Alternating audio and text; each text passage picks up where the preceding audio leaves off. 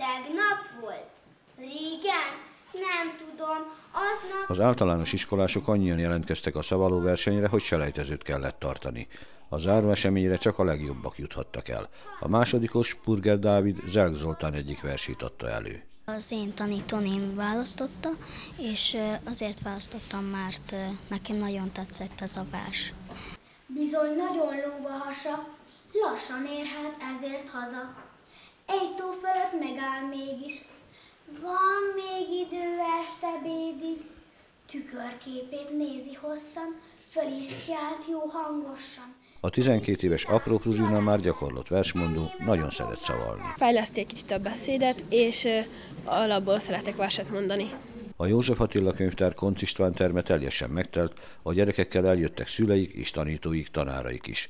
Az intézmény minden évben ezzel a rendezvényel tiszteleg névadója, József Attila születésnapja, illetve a Magyar Költészet napja előtt. Idén ehhez az Arany János emlékév is társult.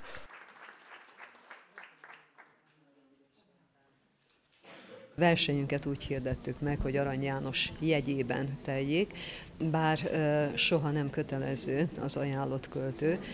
Néhányan választották Arany Jánost, a Velszibádokat, a Vörösrébéket, de a többség inkább kedve szerint, tehát nem meghatározott költőtől választott verset, hanem ami számára a legkedvesebb, és amit legszívesebben mond.